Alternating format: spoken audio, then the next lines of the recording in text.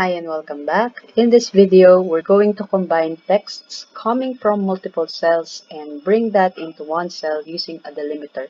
So basically, you can do that using text join formula, but to be more dynamic, we will be using the Power Query.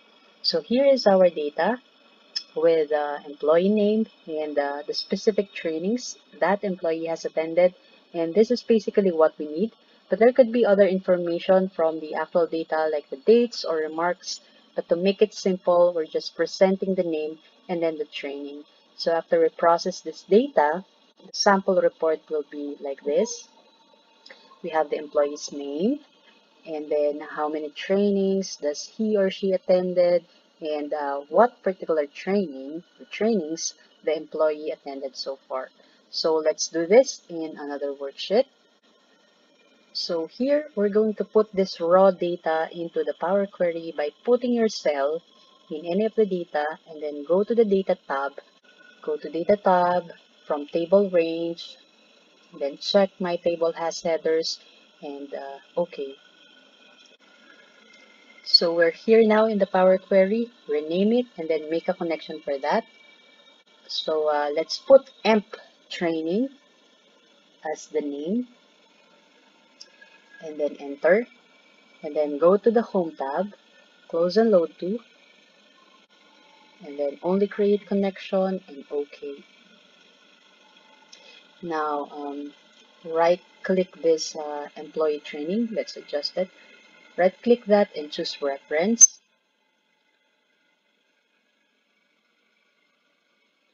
And then rename it again as employee trainings and then enter now, the first thing is to use the group by under the home tab. So go to the home tab, group by, then we choose employee name, and then let's say uh, it's temp or temporary instead of the count for the new column name. And then choose all rows, and then OK. So we incorporate here the trainings attended per unique employees. So let's check the table. We wanted to have just the column for trainings attended because we already have the employee's name presented. So uh, add column for that, custom column, and then in this new column, let's call it trainings attended. So we're putting back the trainings attended here. Trainings attended. Now call the temp column, trainings attended, call the temp column by putting a square bracket. So square bracket indicates that you are calling a specific column name and then put temp for that, T-E-M-P. Then close the, close the square bracket, another square bracket for the trainings attended, the one column below, uh, this table below. And then um, close the square bracket after that and OK. So we got the list of trainings attended. So click the double arrow here on the training at trainings attended column. Click that and choose extract values. Then uh, let's choose custom delimiter, custom, and then I will put uh, a semicolon and a space, no, a semicolon and a space, and then OK. Now we've already joined together the specific trainings per employee in one cell. Now add another column, custom column again, for the count of trainings. So rename it as number of trainings. Number of trainings. And then uh, we will going to use the list.count formula. So list.count, then open parenthesis, and then uh, choose the temp column, put a square bracket, um, and then also the trainings attended column.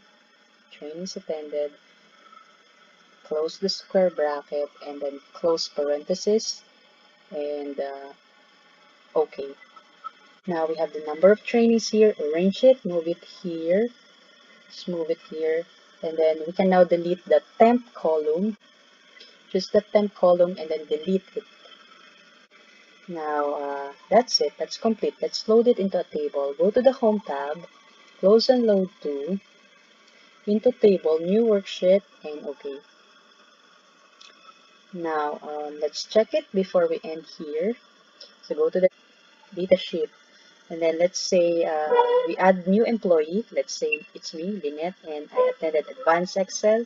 Enter. I'll go to employee training sheet, go to data and refresh all. And now it's been added in the summary. Now let's check it again. Um, let's say I have another training. It's me again, Lineth. And then let's say my training is the, the budget training. And then enter. Now go to employee training sheet and then refresh all and you can see here that I have two trainings and the names of those two trainings are posted in one cell. And that's it. I'm finished here. I'm done. If you like this video, you can subscribe in my channel. Click the subscribe button and see you next time and thanks.